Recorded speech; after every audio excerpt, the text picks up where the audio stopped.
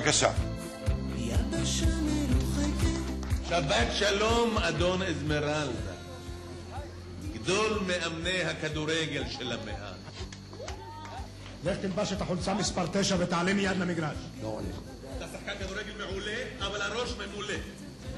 הרגליים שלך רצות, אבל השכל הולך לאט מאוד. לך תלבש את החולצה מספר 9 ותעלה מיד למגרש.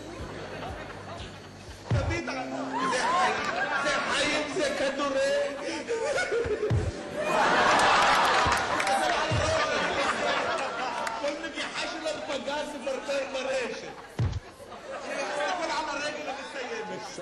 לא, זה ימני. ימני, זה ימני, כל- מסירה סרגל. ואיפה הסיום האישי? כל שבת מתברג במערך הקדמי, כל כדור שלו פגז מפרפר ברשת. ואיפה הוא היום, אדוני? אתה תהיה שחקן כדורסל. תהיה על המפה, מבטיח לך. תקיף את המטבח. יופי. אתה אתה ראית את אולטי פרי שנולד? היה בקושי מטר שמונים.